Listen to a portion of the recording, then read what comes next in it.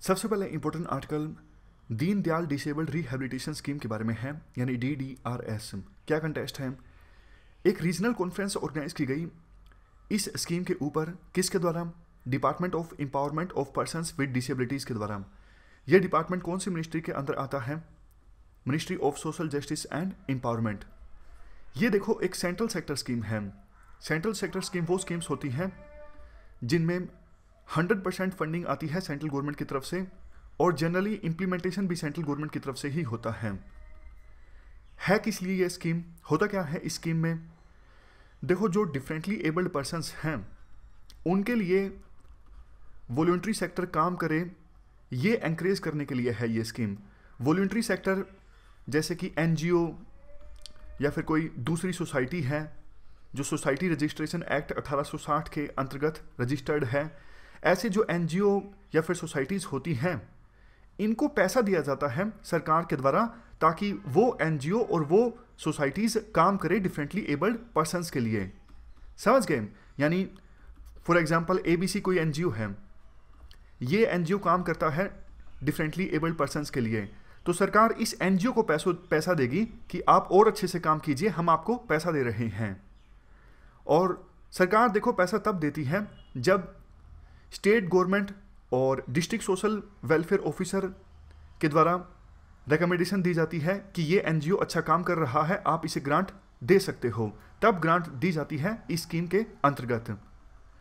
और जिन एन को ग्रांट दी जाती है, वो देखो काफ़ी सारे प्रोजेक्ट फिर चलाते हैं डिफरेंटली एबल्ड पर्सनस के लिए, जैसे pre schools early intervention and training special schools ये सारे काम करते हैं वो एन या फिर सोसाइटीज़ मकसद इस स्कीम का देखो ये है, एक तो जैसा हमने डिस्कस किया वॉल्ट्री सेक्टर को एंकरेज करना कि वो आगे आए और डिफरेंटली एबल्ड पर्सनस को एम्पावर करने के लिए।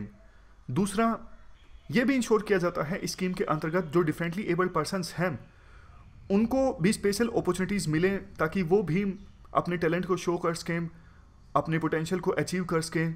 हर साल देखो Deen Dayal disabled rehabilitation scheme के अंतर्गत ऑलमोस्ट 600 एन को 600 एन को असिस्टेंस दी जाती है सरकार के द्वारा, और ये एन ऑलमोस्ट पैंतीस हज़ार से लेकर चालीस हज़ार डिफरेंटली एबल पर्सनस को असिस्ट करते हैं, उनको रिहेबिलिटेटिव सर्विसेज़ प्रोवाइड करते हैं। चलते हैं आगे। Next article sea of Azov के बारे में है। देखो मैपिंग के लिहाज से इम्पोर्टेंट है सी ऑफ़ एजो पिछले साल कन्फ्लिक्ट देखने को मिला था यहाँ पर रशिया और यूक्रेन के बीच। रशिया ने यूक्रेन के तीन मिलिट्री वेसल्स को जब्त कर लिया था और फायरिंग भी की गई थी रशिया की नेवी के द्वारा। तो अब कंटेक्स्ट फ़िलहाल ये है यूरोपियन यूनियन ने काफ़ी सारे लोगों को ब्लैकलिस्ट कर दिया है जो इस घटना में संलिप्त थे तो खबर इंपॉर्टेंट नहीं है लोकेशन सी ऑफ़ एजोव की इंपॉर्टेंट है यूपीएससी पूछ सकती है। यहाँ पे देखो, ये यूक्रेन है, यहाँ पे रशिया है और ये है सी ऑफ़ एजोव नीचे है ब्लैक सी खास बात ध्यान रखने वाली बात यह है कि सी ऑफ़ एजोव और ब्लैक सी को जोड़ता है एक स्ट्रेट स्ट्रेट का नाम है स्ट्रेट ऑफ़ कर्च यहाँ पर देखो, ये ऊपर सी ऑफ़ एजोव है, नीचे ब्लैक सी है। यहाँ पे है स्ट्रेट ऑफ़ कर्च इस स्ट्रेट का नाम भी पूछा जा सकता है यूपीएससी के द्वारा। वैसे एक बहुत छोटी गल्फ भी है यहाँ पे, ये देखो। इस गल्फ का नाम है टैगन रोग गल्फ।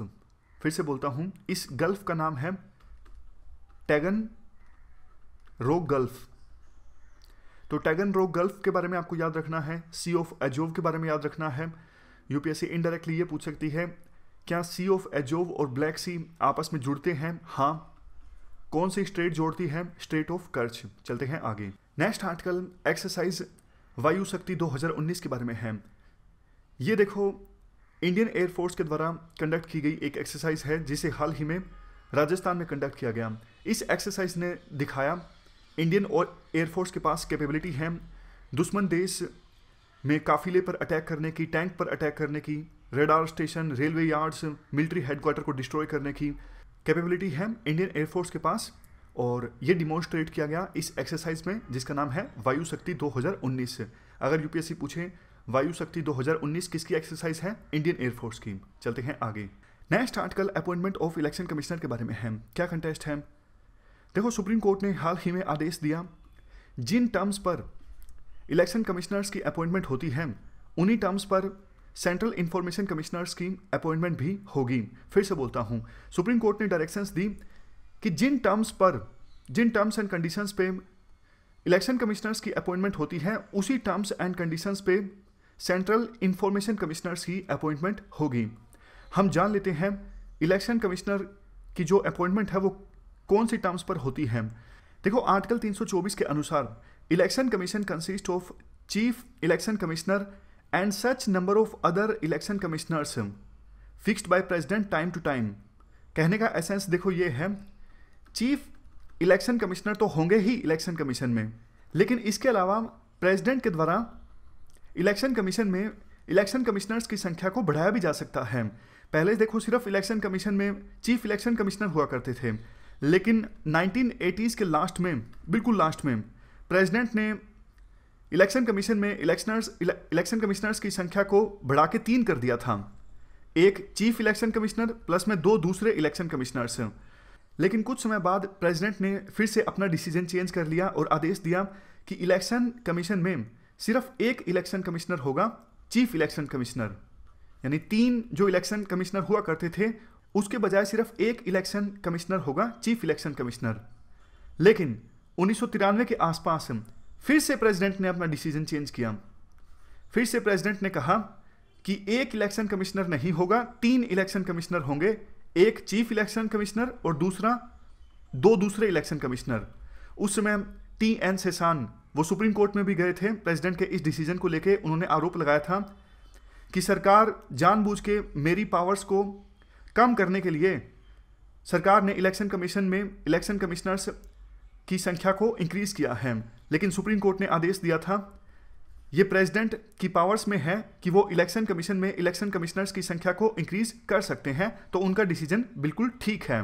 तो उन्नीस सौ तिरानवे में जब ये सुप्रीम कोर्ट का डिसीज़न आया था, तब से लेके आज तक इलेक्शन कमीशन में इलेक्शन कमिश्नर्स की संख्या तीन ही है।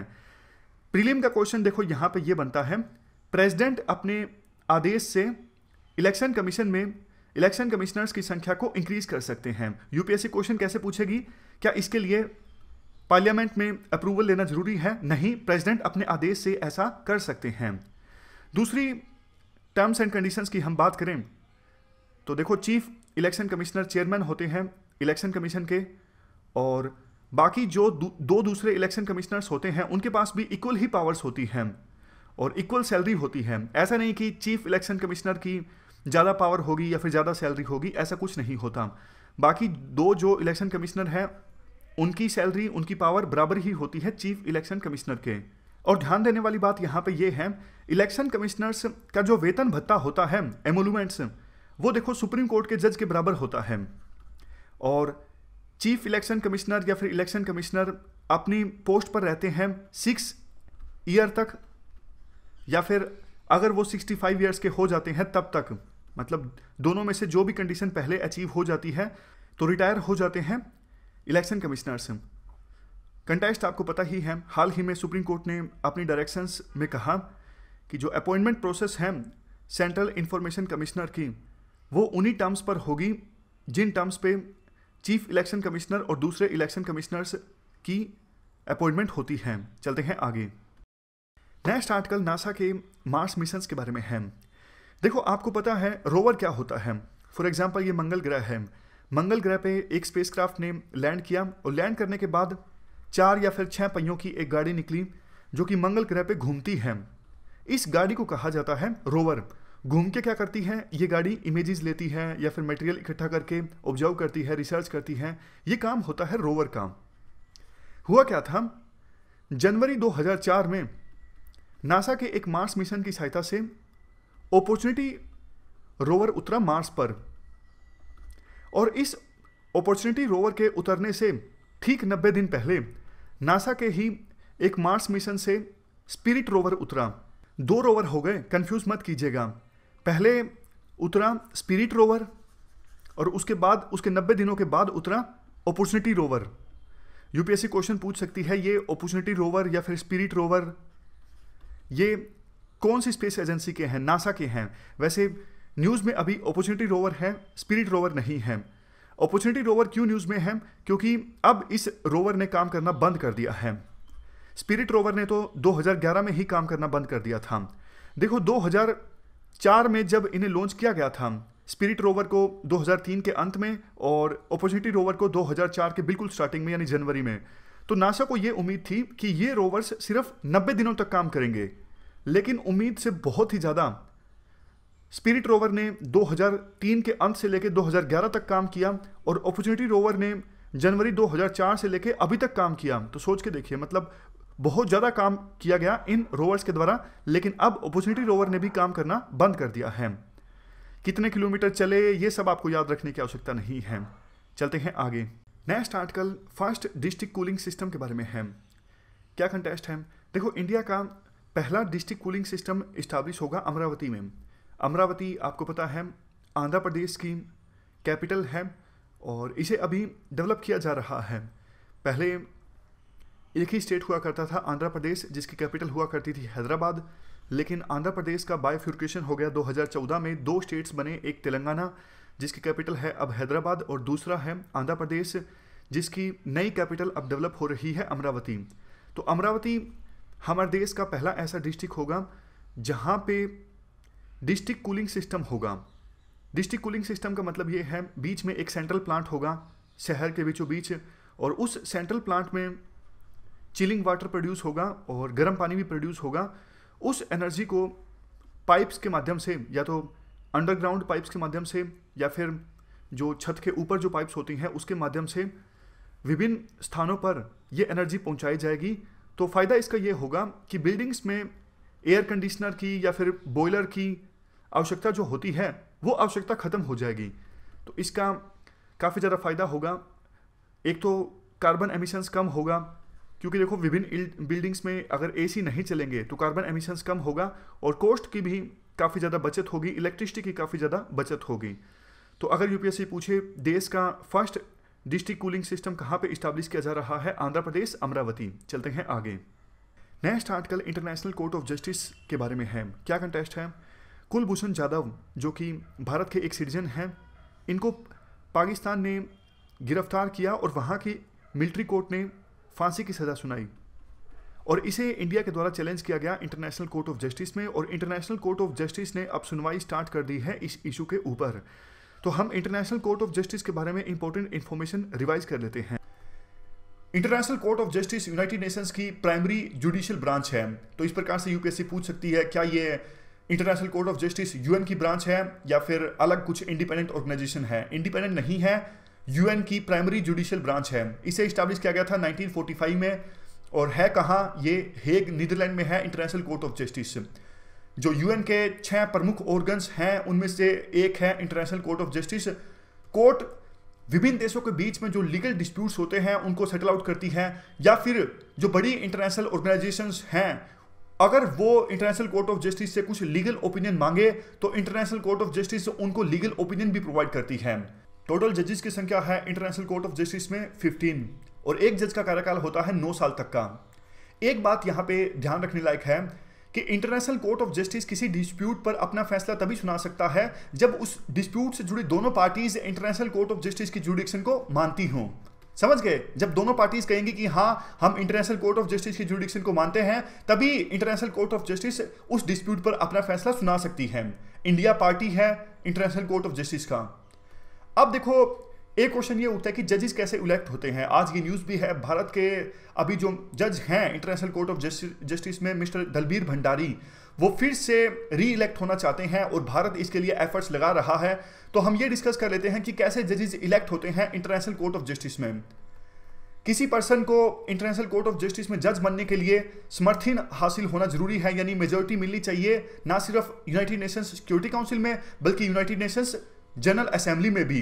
तो अभी देखो, भारत के जो जज अभी हैं इंटरनेशनल कोर्ट ऑफ़ जस्टिस में मिस्टर दलवीर भंडारी, वो इलेक्शन लड़ रहे हैं। तो उनको यूनाइटेड नेशंस जनरल असेंबली में तो बहुमत हासिल हुआ। टोटल वोट्स चाहिए यूएनजीए में बहुमत के लिए 98 और उनको वोट्स हासिल हुए 115 लेकिन यूएनएससी यानी यूनाइटेड नेशंस सिक्योरिटी काउंसिल में आठ वोट चाहिए कम से कम मेजोरिटी के लिए, लेकिन उनको छह वोट हासिल हुए। तो अभी तो ये इलेक्शन चल रहा है, ताकि मिस्टर दलवीर भंडारी दोबारा से री इलेक्ट हो जाए इंटरनेशनल कोर्ट ऑफ़ जस्टिस में जज के तौर पर बाकी कुछ और जो कंडीशंस रखी गई हैं, उस पर्सन का हाई मोरल करेक्टर का होना ज़रूरी है। और एक बात इंपॉर्टेंट बात, मान लीजिए कोई जज है इंडिया से कोई person international court of justice में जज बनना चाहता है तो कम से कम वो पर्सन भारत की जो हाईएस्ट कोर्ट है, उसमें मेंबर बनने के लिए एलिजिबल होना चाहिए। यानी सुप्रीम कोर्ट है हमारे देश में हाईएस्ट जो कोर्ट है, कम से कम सुप्रीम कोर्ट में जज बनने के लिए वो पर्सन एलिजिबल होना चाहिए, तभी वो पर्सन इलेक्शन लड़ सकेगा इंटरनेशनल कोर्ट ऑफ़ जस्टिस का। और ये रूल इंडिया के लिए नहीं, जो भी पार्टीज़ हैं, जो भी कंट्रीज़ हैं जिनके members international court of justice में जज बनना चाहते हैं, उन सब पे लागू होता है। तो ये थी कुछ important information international court of justice के बारे में। तो ये थी हमारी आज की डिस्कशन फ़िलहाल इस डिस्कशन में इतना ही है। Thank you thank you very much for discussion